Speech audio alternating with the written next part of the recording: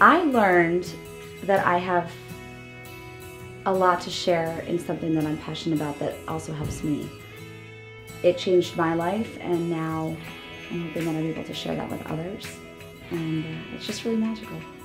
I loved all the people and having such an amazing group to come to weekend after weekend and just hang out with them.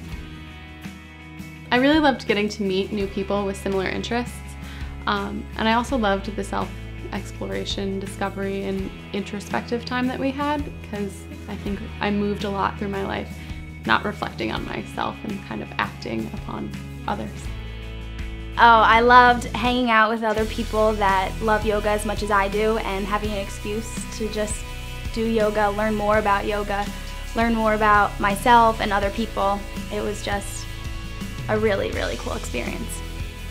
I think the most important thing that I learned was how to find my voice while I was teaching and how to feel like myself and be authentic in front of the class. This has been an amazing experience. I loved it. I'm very happy that I took this opportunity.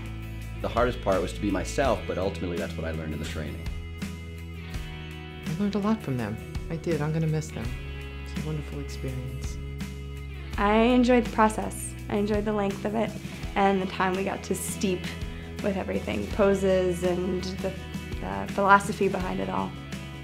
I'm very, very grateful and I feel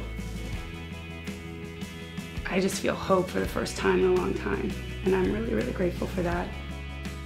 Yoga Soul is a great place. It's become my home and I am so thankful that I took the chance and did the 200 hours.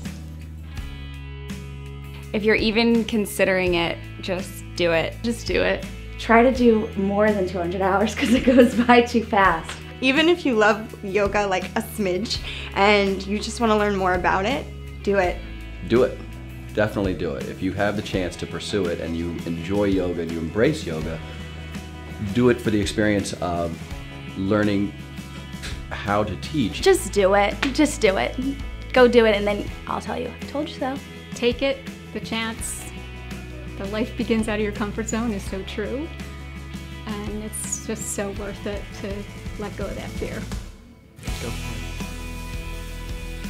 it. Be fearless and go for it. You have nothing to lose.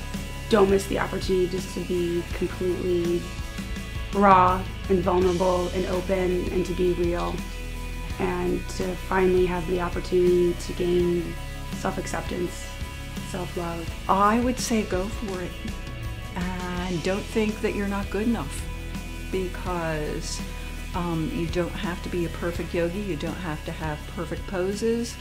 All you have to have is heart.